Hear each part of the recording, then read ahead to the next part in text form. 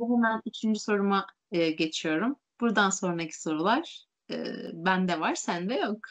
Evet. Evet. Yayından ayrılabilir miyim? Hayır. Başkasıyla devam eder misin? E, zor sorular değil. Kısmen. Şimdi üçüncü soruma geliyorum.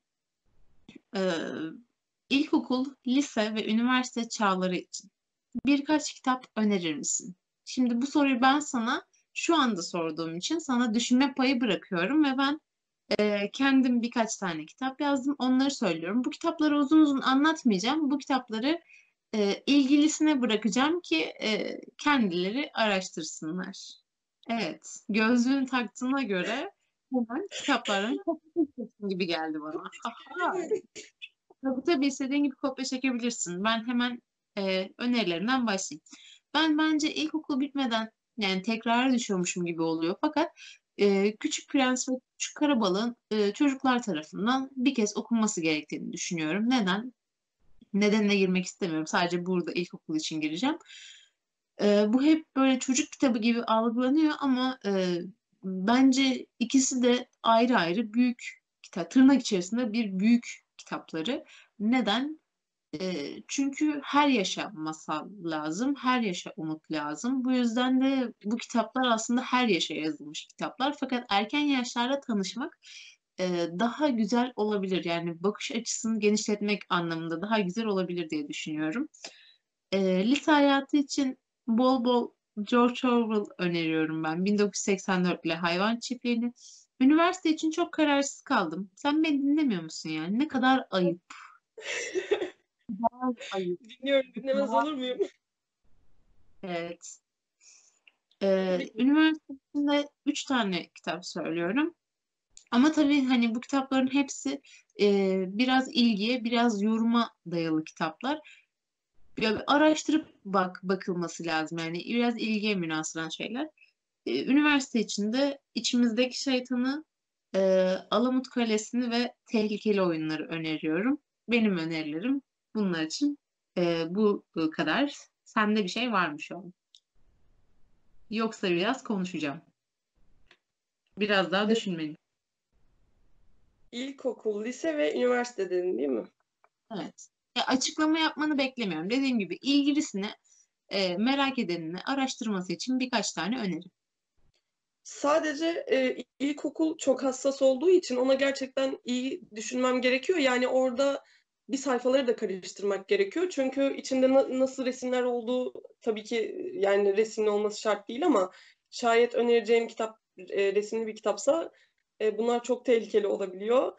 E, onları güzel bir incelemek lazım açıkçası. Fakat lise ve üniversite için şu anda önerebilirim.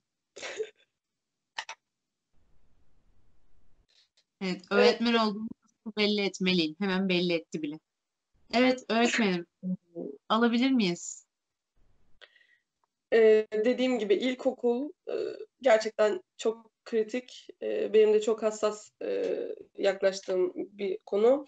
İlkokul kitabı için e, biraz düşünmek lazım. Tamam. E, e, lise için Hı hı. ben e, e, Nazım Hikmet'ten Üç şiiri önermek istiyorum. Çünkü e, ben üç şiiri sanırım e, lisede okumadım. Daha geç okudum e, yanılmıyorsam. Yani tabii ki o, o sıralarda ben bambaşka Nazım şiirleri okuyordum ama e, çok da e, zamanlıca değildi bence hepsi. E, üç şiirde ne var? Ceviz ağacı var, yaşamaya dair var e, ve masalların masalı var.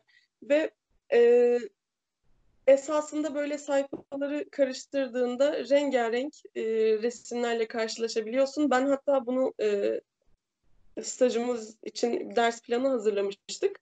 Düşün ortaokul öğrencisine bile e, önerdim. Çünkü ders kitabında yer alıyor zaten e, yaşamaya dair şiiri. E, dolayısıyla lise öğrencisi için e, çok daha umut vaat edici olacağına inanıyorum. E, ayrıca eğer o yaşa kadar şiiri hiç sevememiş çocuklar varsa e, ki lisede de biz maalesef buna çok rastlıyoruz.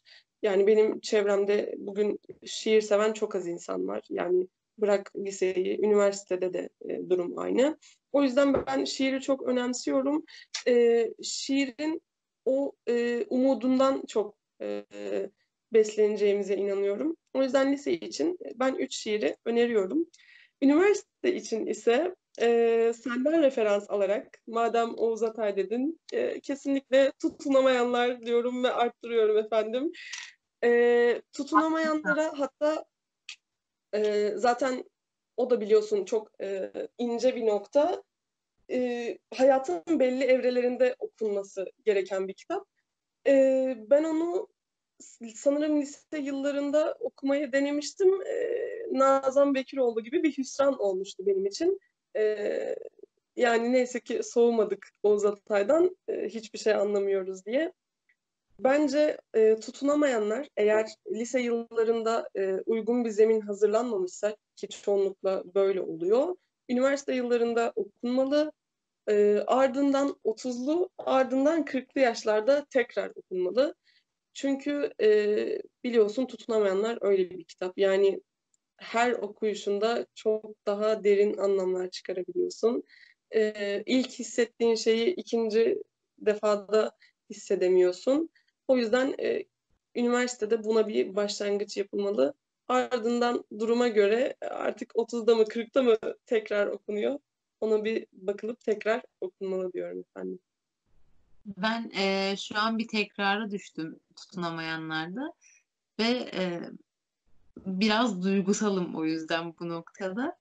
Çünkü bazı cümlelerin mesela yeni yeni çiziyorum altını ama baya baya çiziyorum ve bazı cümlelerde rast geliyorum. Yani o yıllarda da çizmişim. Yani yine lise yıllarıma tekabül ediyor ve yavaş yavaş gerçekten benim de başlarda zorlanarak okuduğum bir kitaptı. Ama e, yavaş yavaş ilerlese de bir şekilde tükendi. E, ama hani o yaşlarda hissettiğim ve bir şey hissederek o altını çizdiğim cümleleri şu yaşlarda hala ve ısrarla çizebiliyor olmak ya bana e, bendeki bir şeylerin aslında e, hani köşe taşlarının en azından değişmediğini gösteriyor. Yani hala bazı yerlere bastığında ben e, bağırıyorum arkadaş. Hala o e, tarafım mevcut. O yüzden biraz duygusallaştım. İlkokul için bir öneriniz var mı öğretmenim? Efendim olduğunda biz size mail yoluyla ulaşsak olur mu acaba? Sen beni daha çok mail yoluyla terk edermişsin gibi geliyor. Evet. Yok hayır. Ee, güzel bir listeyle gelirim eminim ki. Çizmeli de okuyalım efendim. Kibritçi kız falan okuyalım. Fareli köyün kahvaltısı okuyalım. Ben evet, hala masal da cinsiyet ya. Maalesef. Şu an çocuklar deyince de hemen masallara gidiyor abi. Evet. Üzücü evet. gerçekten. İşte aklım 8 saat. O yüzden hiç konuşmamayı tercih ediyorum. Hassasiyeti anlıyorsun değil mi? Ee, yani şöyle bir e, noktaya e, değineyim, bağlantı kurayım. E, yani biraz politik gelebilir ama Hitler'in e, oyuncak politikasını biliyorsun mesela. Yani oyuncaklar üzerinden e, çocuklara bir şeyleri aşılıyor. E, masallar da böyle aslında. Biz Hitler döneminde oyuncaklarda savaş resimlerini görmeye başlıyoruz. E, bu küp küp oyuncaklar var ve e, o küplerde biz asker, tabanca, ateş resimleri görmeye başlıyoruz ki bu bir oyuncak. Bugün hala e, biz maalesef bunun sancısını çekiyoruz. Evlerde tabancalar var, e, oyuncak. Dolayısıyla masal, e, hikaye de böyle. E, hepsinin çok ince ayıklanması, çok ince e, düşünülüp seçilmesi gerekiyor. O yüzden çocuğa öyle her e, alıştığımız kitabı da okutamıyoruz maalesef. Bugün bize çok tatlı gelen masallar aslında kurcalandığında e, bizler için bile çok e, acı olabiliyor. Şu an yine üzüldüm. Daha tatlı şeylerden konuşalım. Evet. Yani e, ben şu an teyzeyim biliyorsun. iki yıldır teyzeyim. Ve e, muazzam hassasım bu konuda. E, Dolunay'ın şu an hiç Barbie bebeği yok. E, ve bu konuda ekstra e, titizim yani hiç de olmasın. Ya da e, hiç, hani kitap bir sürü kitabı var ve kitapları e, arasında hiç böyle e, klasik masallar yok. Daha artık öğretici diyebileceğimiz masallar oluşturulmuş çocuklar için bu düşünce gözetilerek. Yani bundan memnunum. Ama biraz böyle gerçekten arkamı dönüp hani kendi zamanımdaki masallara baktığımda işte mükemmel bir vücuda sahip, mükemmel bir prenses, mükemmel bir kadın ve daima kurtarılmaya mahkum.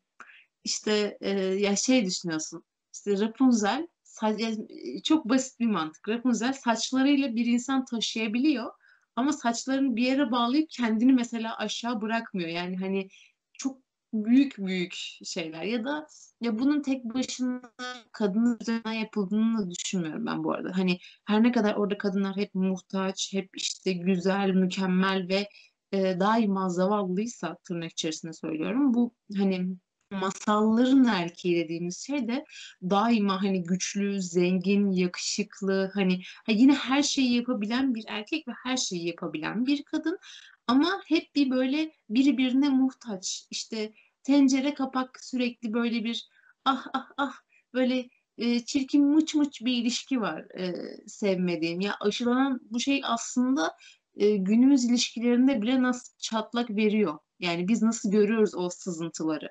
E, bunlar evet. çok acı. Hiç sevmiyorum böyle konuşmayı. evet, teyzeyim ben. Beni sinirlendirmeyin. İnsan gibi masal yazın. bak bu, bak bu el, bak bu el muhalefet eli görüyor musun? Teyze eli. Ey gide.